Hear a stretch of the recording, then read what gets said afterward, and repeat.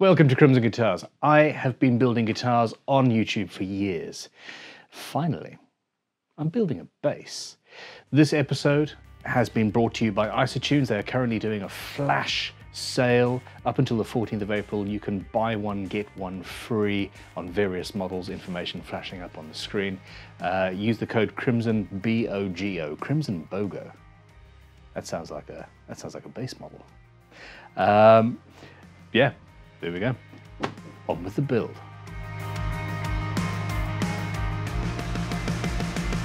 Burn it. Ah, yay! At this stage, the neck has yet to be carved. The fretboard has just been radiused, I need to cut the fret slots out by hand, uh, figure out the inlays, drill the headstock, carve the neck, and get it under finish. All, hopefully, by the end of today. Woohoo. Ruler. Everybody needs a center line.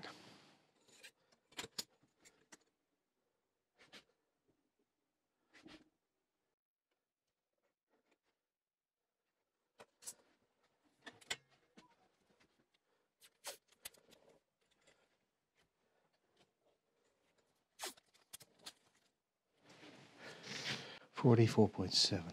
Ninety-four something. One thirty-seven point four. One seventy-eight. Two sixteen point six. Two fifty-two point. Two eighty-seven. Three nineteen. Thirty-seven point nine. Hold on, say this. Three seven. Three seventy-nine. Four oh six. Four four thirty-one point eight. Four thirty-one point eight. 456, 478.9, 50, 52, 520, 540, 558.2, 5755, 591, 60, 606.8.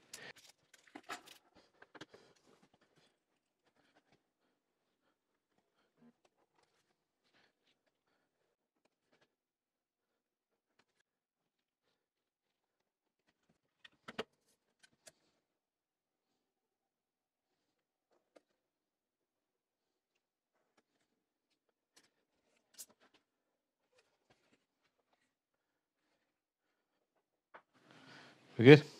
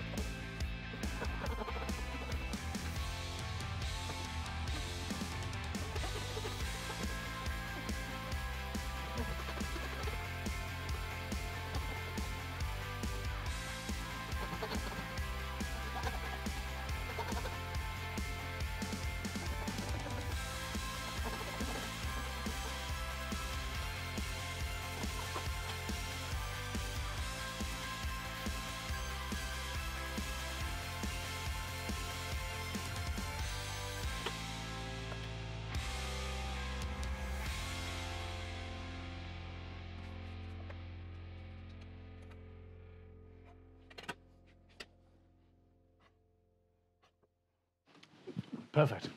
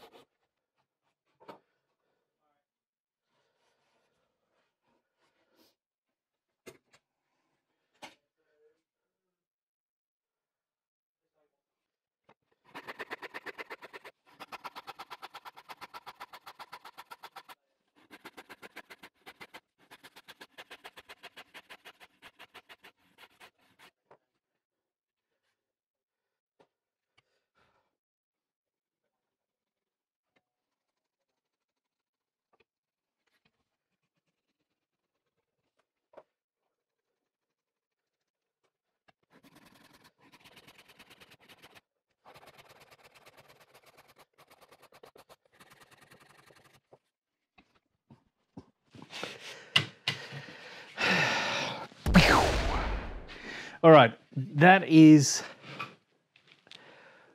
my current favorite way of trouble free, risk free carving a neck.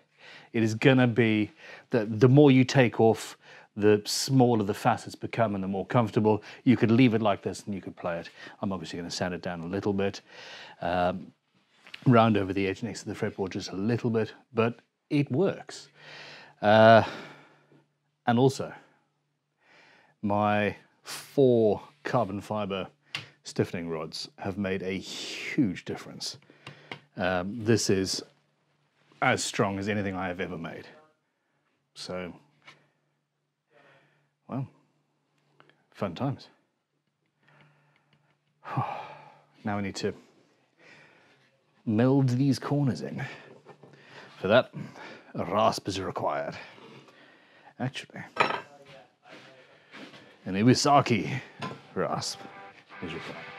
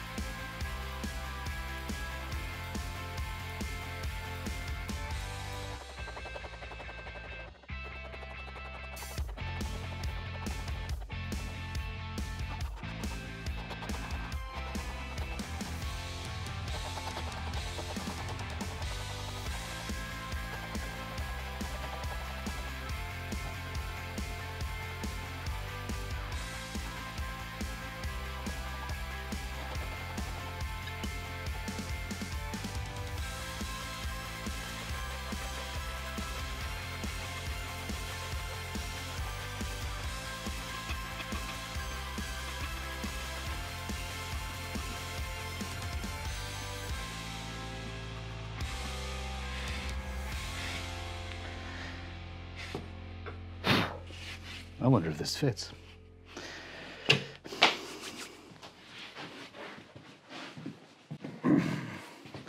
It's supposed to be a fraction too big for the pocket so I can ease it in. We are, oh, we're a fraction too big.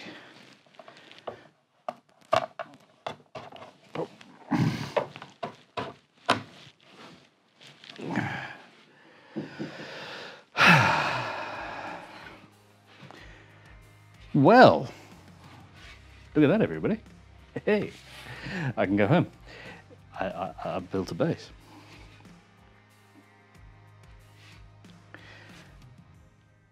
I am so happy. Okay, so at this stage, I have cut the fret slots. I have carved the neck. I spent ages fitting the neck to the body. And uh, uh, I do not need I do not need to fill the fretboard. I don't need to flood it with resin. I don't need to do any of that um, per se. I suspect, however, that there's a couple of places here, there's some fairly big knots uh, where I'm going to do exactly that. So essentially, I'm going to flood it with, um, I'm going to put some dust in there, and I'm going to put some super glue in there, and uh, go from there. And then we've got some drilling and a whole hell of a lot of sanding to do. Yippee.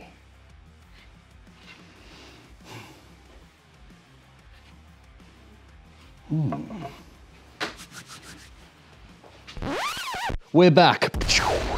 This is uh, this this has been settling for a weekend, and I am currently I am currently cacking myself because while I was away over the weekend, this neck you can probably see it there has moved in spite in spite of the four carbon fiber stiffening rods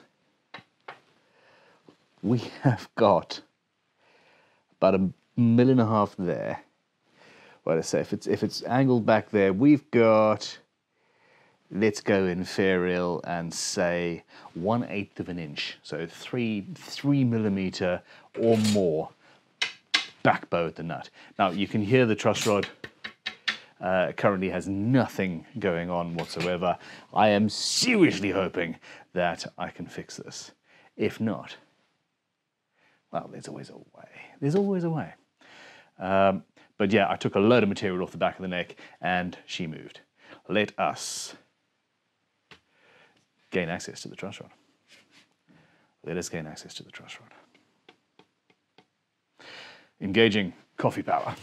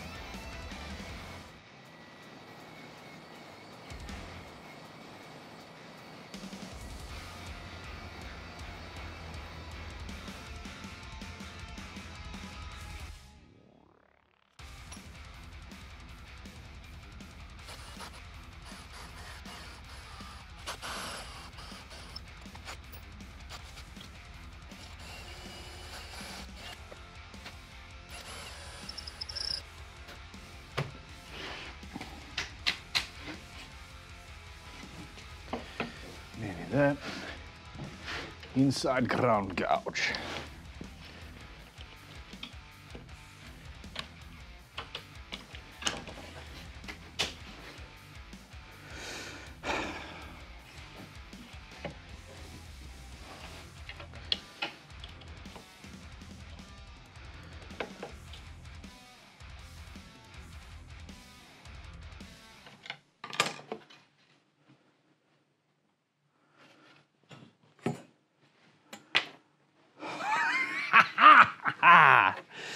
All right. All right, we're there. We're there. Whew. That was scary. We're good.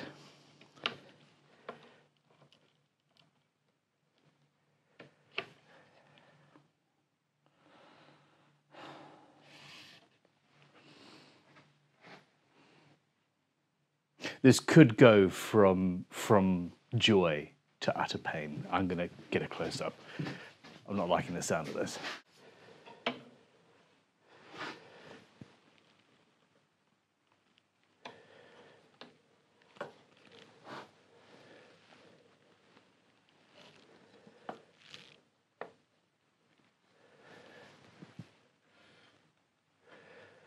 All right, we've got it. It's okay.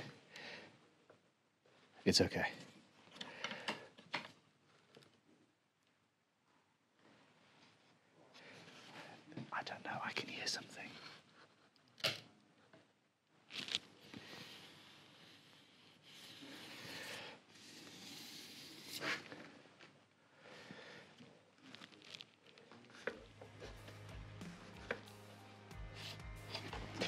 Okay.